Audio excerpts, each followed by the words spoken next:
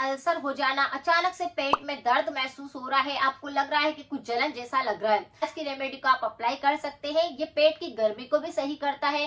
पेट में अल्सर हो चुके होते हैं, गाँव हो चुके हैं, उनको बिल्कुल सही करता है। इसके ऊपर मेरे और भी वीडियो बने हुए हैं, आप चाहे तो उनको भी देख सकते हैं। सबसे पहले हम बात करते हैं रीजन की रेमेडी की और रिमूव की। पेट में अल्सर होने के बहुत सारे कारण होते हैं। अगर कोई भी व्यक्ति मिर्च मसालों का प्रयोग ज़्यादा करते हैं तो उनके पेट के अंदर गाव बनने लगते हैं, इस तरह से फोड़े बनने लगते हैं और वो फूटने लगते हैं, जिसकी वजह से पूरा एसिड जो होता है उनका, वो बाहर निकलने लगता है, जिसकी वजह से बहुत ज़्यादा पेट में जलन होती है एसिड रिफ्लेक्स की समस्या होने लगती है, खाना ऊपर की तरफ़ आने लगता है। तो खान पान सबसे ज़्यादा डिपेंड करता है कि आप किस तरह का खाना खाते हैं, जो आपके पेट में जाकर गैस पैदा करता है।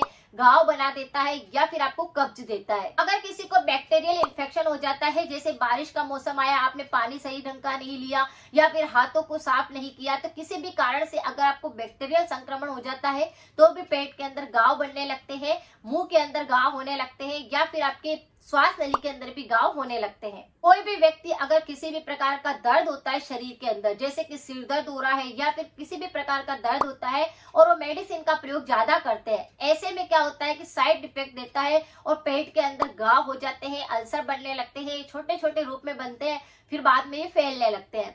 तो अगर आप बहुत ज़्यादा मेडिसिन का प्रयोग करते हैं तो इसकी वजह से भी आपको ये समस्या हो सकती है। लक्षण भी आपको ऐसे में देखने को मिल सकते हैं कि जैसे पेट में दर्द महसूस हो सकता है, खट्टी डकारे आ सकती है, खाना सही ढंग से पचता नहीं होगा, आपको गैस बहुत ज़्यादा बनती होगी, पेट के अंदर फूला फूला महसूस होता है, जलन जैसा लगता है और इसी तरह से आपके गले के अंदर भी बहुत ज़्यादा इन्फेक्शन लगता है, गले की भी एसिडिटी बहुत होती है। कुछ लक्षण ऐसे है जिनको बिल्कुल इग्नोर नहीं करना है। अगर एसिडिटी बहुत हो रही है तो इसके पीछे यह कारण भी हो सकता है कि आपके पेट तक कोई संक्रमण हो चुका होता है।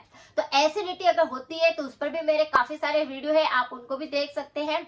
लेकिन अगर आपको पेट के अंदर अल्सर की वजह से ही ये दिक्कत हो रही है, आपने सोनोग्राफी कराया है, आपने टेस्ट करवा लिए है, और आपको ये लक्षण की वजह से ही आपको दिक्कत हो रही है तो आप क्या करें, एक छोटा सा उपाय रोज करना शुरू कर दें। जैसे मैं हमेशा बताती हूँ कि योग प्राणायाम तो सबसे पहले आपको करना चाहिए, लेकिन अगर आपके पेट के अंदर अल्सर है तो सोफ का पानी बनाकर आपको ज़रूर लेना चाहिए। इसे कैसे बनाना है? आपको क्या करना है? एक लीटर पानी लेना है। पाँच से सात चम्मच छोटी वाली, उसके अंदर डाल देनी है सोफ। और पानी को अच्छे से बॉईल कर लेना है। फिर पानी को ठंडा कर लेना है। और इसी पानी को दिन भर आपको लेना है। इस पानी को लेने से आपके शरीर के अंदर, पेट के अंदर बहुत ज़्यादा गर्मी होगी तो उसको खत्म करेगा। एसिड अगर आपके बहुत ज़्यादा बढ़ने लगा है तो उस पर काम करेगा। पित्त प्रकृति अगर आपकी अनबैलेंस हो चुकी होती है तो उस पर भी काम करेगा। गाँव को धीरे धीरे करके ये भर देगा और पेट में जो जलन हो रही थी, दर्द हो रहा था, उसको सही करेगा। यानी कि पेट को डेटॉक्स करने का काम भी ये करता है।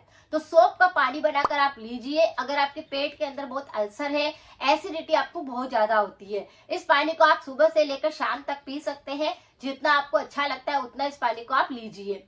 ताकि आपके पेट के अल्सर को आप बिल्कुल नेचुरल तरीके से सही कर सके। इसमें काफ़ी सारे विटामिन होते हैं, इन्फ्लेमेटरी इसमें पोषक तत्व होते हैं, जो कि आपकी सूजन को दूर करते हैं, दर्द को दूर करते हैं, गाव को बढ़ते हैं, और जलन को बिल्कुल सही करते हैं। तो बिल्कुल नेचुरल तरीका है तो इस उपाय को कर सकते हैं अगर आपके पेट के अंदर काफ़ी ज़्यादा अल्सर हो चुके हैं।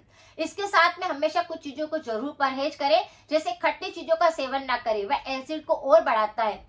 मिर्च मसालों का प्रयोग बिल्कुल ना करें ये और भी ज़्यादा जलन पैदा करते हैं, दर्द करते हैं और गाँव को बढ़ने नहीं देते। तो मिर्च मसालों को, पैकेट वाले आइटम को बिल्कुल नहीं खाना है।